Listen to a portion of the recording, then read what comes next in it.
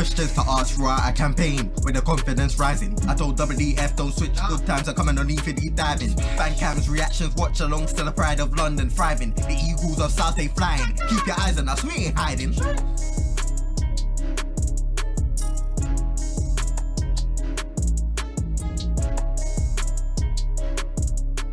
This is Eagle Eye Football, the player ratings versus Everton at home.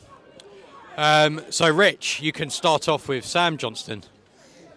Uh, I mean, he's conceded three goals, isn't he? Um, I wouldn't necessarily necessarily say any of it was his fault.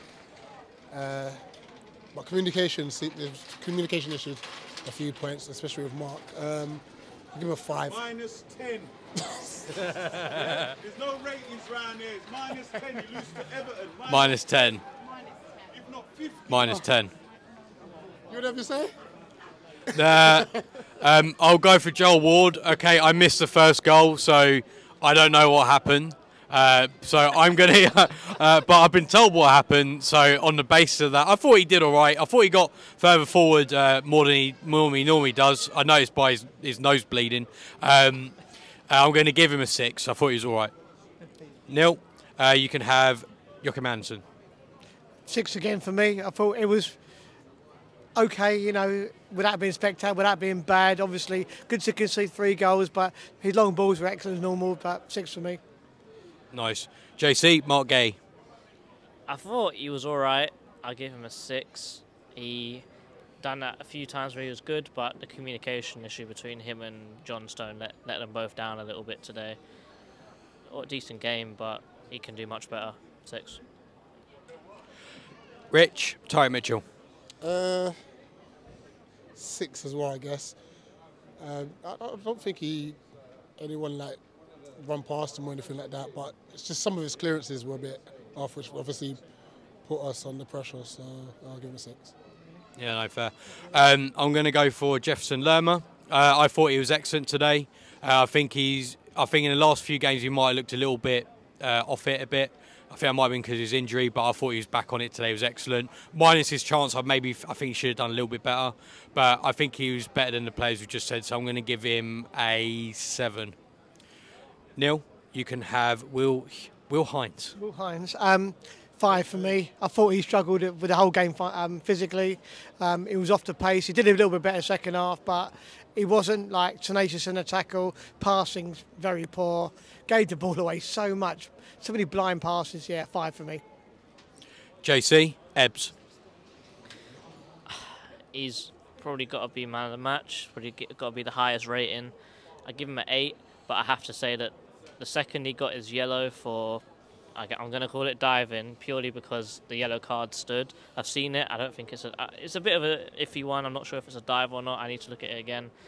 But I think the fact that him after his yellow, and then he took out someone where he probably should have been sent off, where he was a bit rash. I, I have to give him a seven because after that, I don't really think he'd done much until Olise came on, and that was another what 50 minutes, 60 minutes since. So yeah, I give him a seven. Yeah, that's fair. Rich, you can have uh, Jordan Ayew. It was a standard Jordan Ayew performance, I think. Um, I think, first off, I, I, feel we could have got the ball to him a lot quicker at times. Yeah, he, he literally was in so much space. I don't know if we were trying to set like traps, but it just wasn't working. Like the switch was on, it never came to him. Um, but he does what he does, works hard, tries to burst forward. Um, lots of crosses with his left foot today. No one's putting him in the back of the net. What can you do? Uh, six. Yeah, fair. Uh, I'm going to go Eddie. Um, I feel like my, I feel like what I'll say might be a bit controversial, but I, I thought he was decent. I thought I, I know a lot of people disagree with me. Um, he he was offside a lot, and there were a couple of occasions where I feel like he could have got his shot off a lot quicker. Having said that, he did score, so I got to give him credit for that. Um, I'm going to give him. I'm going to give him a five uh, today. Jeff Schlupp. I knew he was going to say that. Jeffrey Schlupp. Um, I'm going to. I'm going to say six again because there's a player in there, isn't there? There's a strong player in there. There's many players in there. But, but, but it's obviously, yeah. And many pies as well. Um, but he just, you know, when he when he drives forward and he runs with the ball, he's so strong on the ball and he's so quick, but he just doesn't do it, does he? He- But he, he had a couple of little, but It's the opposite of yeah, he's a couple of little runs he did, but generally he just goes missing as well. So yeah, standard six for me. Yeah, fair. JC, you can have. I can't remember the order of the subs, but you can have um, Olise. What a. I, I, I wouldn't say what what a performance, but what a what a change. What a change to the game. Just brought excitement into the stadium. It was feeling a bit flat because they just scored again and thinking, now we need to chase the game again now. But just a complete breath of fresh air. Running at players, cutting inside, and actually shooting. Like, it's exactly what we've missed for a long time. I'm going to give him a six because he wasn't on the pitch for that long, uh, coming back from injury. But I I can't fault him really. I think he played really well. No, fair enough. Rich, you can have ah- Ahamada. Oh, well, he did better than Mateta when he, to be fair. I don't even think Mateta touched the ball. Um, but yeah, once again, not not on not for long. I think what 89th minute. I think Yeah. if I'm was- not yeah. mistaken. I can't really give him much. I'll give him a, a four. Like there was some like bright burst on the left hand side. But that's probably it. Jean Philippe Mateta. Where do I begin? Did he even t- I don't, I don't, I'm trying to think. I don't think he did touch the ball. I I gotta be honest. I don't think he touched the ball. The guy, the guy, the guy, ne- the guy, the guy next to me said, "I think he'll get two touches of the ball today," and he got none. He hit him with one of those. So everything's The player rating categories to come back. I mean, he just didn't do anything. I mean, uh, He's just bold, isn't he? he's just so crap. Uh, I'll just give him a four because he didn't do anything. Didn't do anything terrible. Although we did concede when he was on the pitch. Um, well, it's got nothing to do with him. Yeah, four. Just a question. I know this is player ratings, but was that a mistake to take take off Eddie at that moment? Because Eddie had just scored as well. No, he, he didn't take him off at that moment, did he? Because Mateta was waiting on the sideline. We watched it. He scored, and then Mateta sat down for 10 minutes, and then he took him off. Yeah, yeah. Yeah.